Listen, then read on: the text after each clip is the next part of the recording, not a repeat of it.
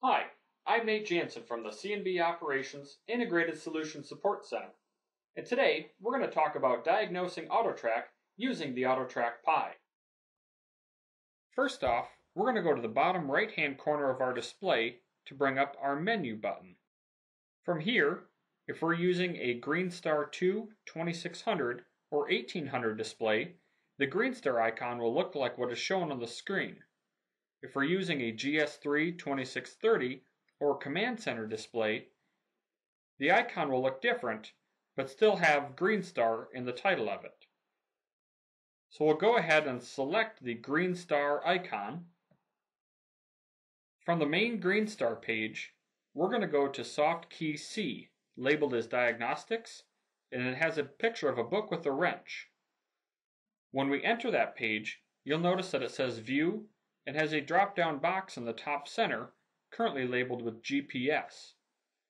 We want to select this drop-down box and change that view to AutoTrac.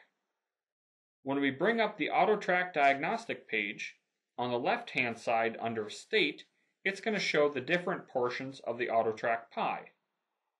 The center of the table is going to show us the different conditions that have to be met in order to AutoTrac. And the far right side of the table under status, it's going to tell us which conditions do or don't meet the required components in order to auto track. In this case, if we look down our status list, we're looking for anything that says no or n slash a or not available.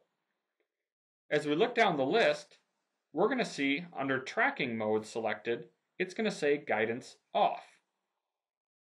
So on our guidance page, we're only going to show one portion of the AutoTrac pie because the conditions aren't met to get the second piece.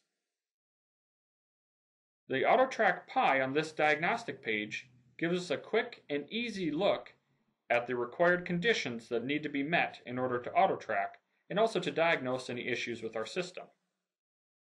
And now we've successfully diagnosed our AutoTrac using the AutoTrac pie. Thank you for choosing C&B Operations, committed to being your dealer of choice.